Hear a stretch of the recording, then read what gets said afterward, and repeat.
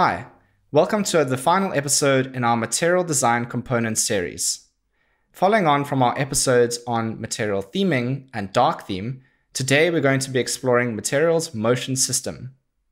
Material motion distills common transitions into a group of simple patterns for a smoother, more understandable user experience. The four patterns are container transform, shared axis, fade through, and fade. These are implemented in MDC as classes built on top of the existing Android X and platform transition frameworks. As a result, they can be used in scenarios involving fragments, including the navigation component, activities, views, and windows. We'll be exploring each of these transition patterns and in which scenarios they are best suited by applying them to a sample app. We'll also see how adjusting animation values such as duration and interpolators can change the user experience. For this episode, we're going to be using an existing app called Reply. This is one of the Material Studies, an email app that uses material design components and material theming to create an on-brand communication experience. Visit material.io slash design slash studies slash reply for more information. We are now in the Material Components Android Examples repository. It includes Reply, as well as other sample apps that demonstrate MDC, like OWL and Material Theme Builder.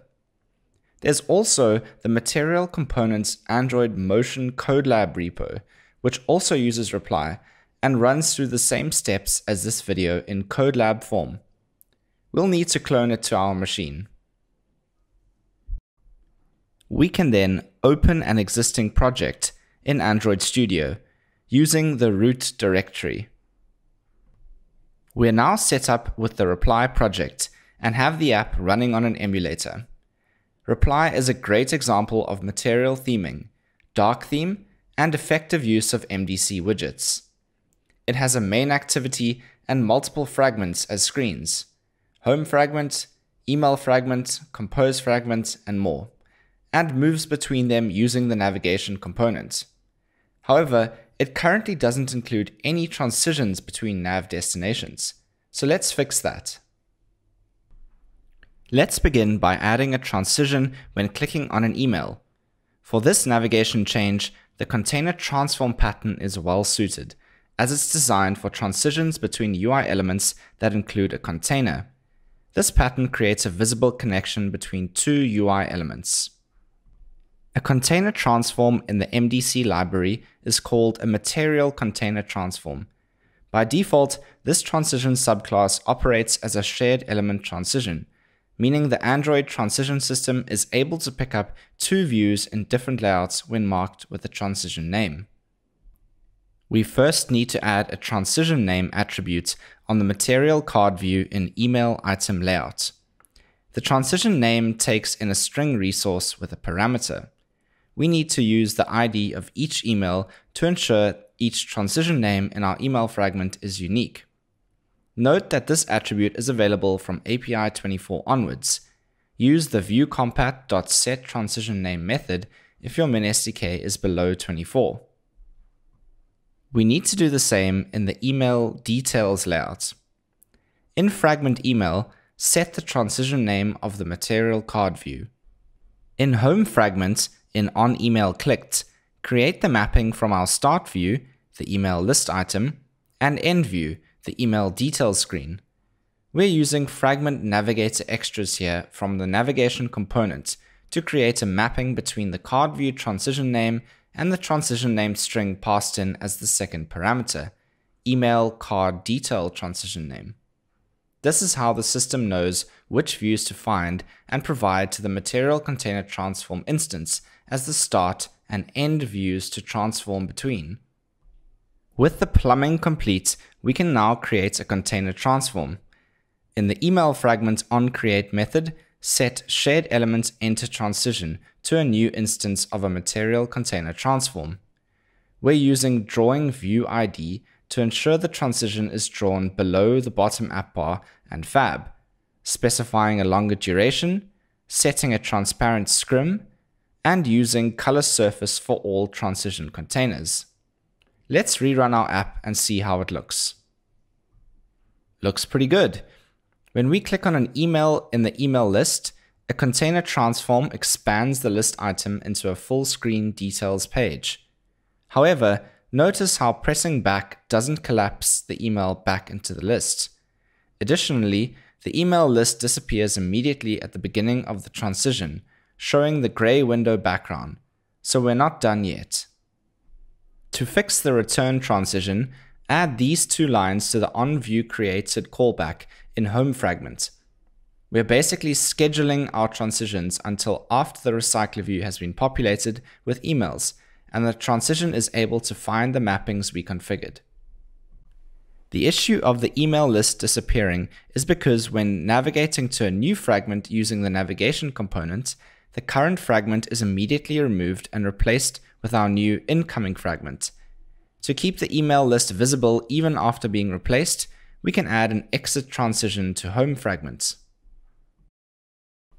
MDC provides two transitions to do this for us, hold and material elevation scale. The hold transition simply keeps its target in its current position, while material elevation scale runs a subtle scale animation. We'll use material elevation scale as an exit transition and re-enter transition. We also need to mark the recycler view in fragment home as a transition group to ensure the transition is applied to the home screen as a whole. Note that this attribute is available from API 24 onwards. Use the view group compat.set transition group method if your MinSDK is below 24. Now let's rerun our app. We now have a fully working container transform. Clicking on an email expands the list item into a details screen while receding the list of emails. Pressing back collapses the email details screen back into a list item while scaling up in the list of emails. Let's continue with Container Transform and add a transition from the fab to compose fragment, expanding it to a new email to be written by the user.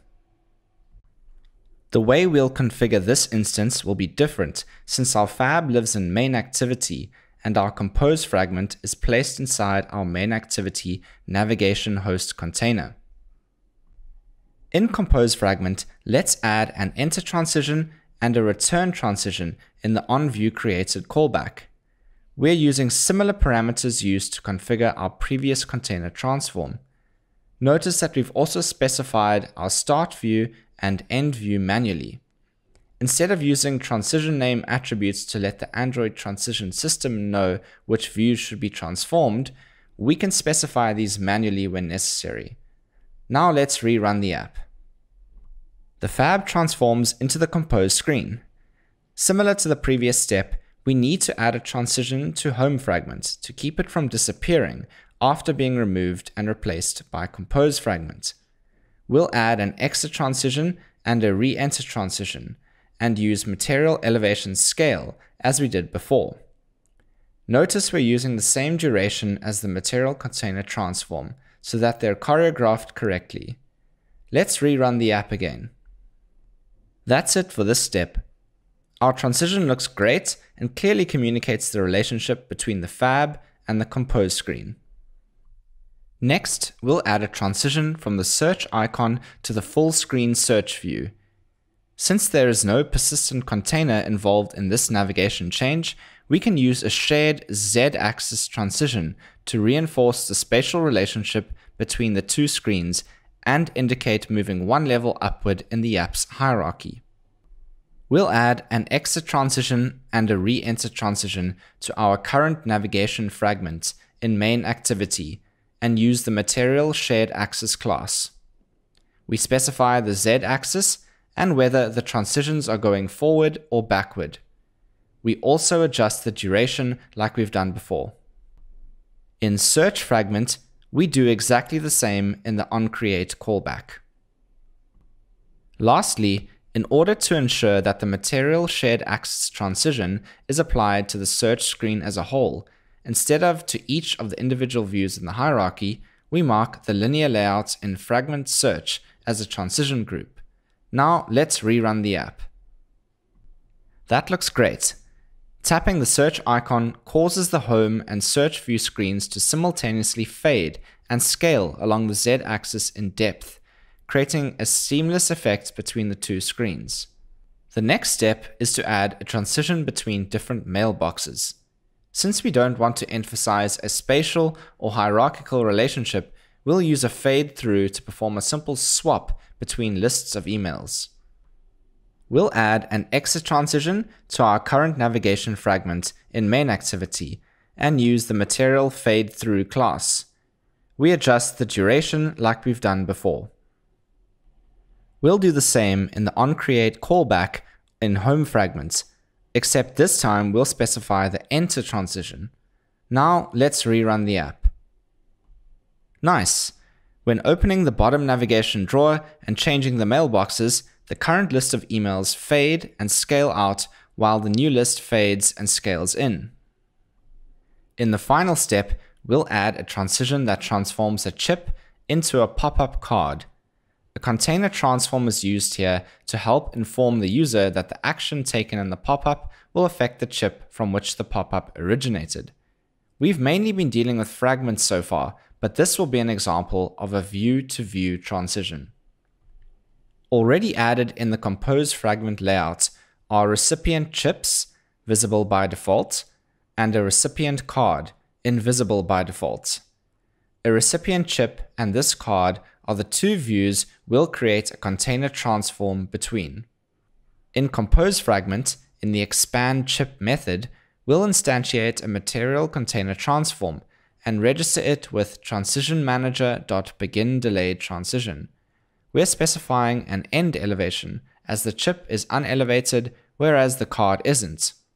We're also specifying a target view to prevent the transition running on both views, which is the default behavior. Next, let's configure the return transition to collapse the card back into the chip. In the collapse chip method, we'll add a similar looking material container transform and once again use transition manager.begin delayed transition. Notice here that instead of end elevation, we're specifying start elevation. Now let's rerun the app. That's a big improvement. Clicking the chip expands it into a card, while clicking the card will collapse it back into a chip. That's it for today's episode. We saw how to implement the four material motion transition patterns with fragments, activities, and views using the MDC classes in our Reply sample app. Each transition pattern is suited better to certain scenarios, and we saw where it's best to use container transform, shared axis, fade through, and fade. If you liked the video, go ahead and like, share, and subscribe to the Android Developers channel on YouTube. Thanks.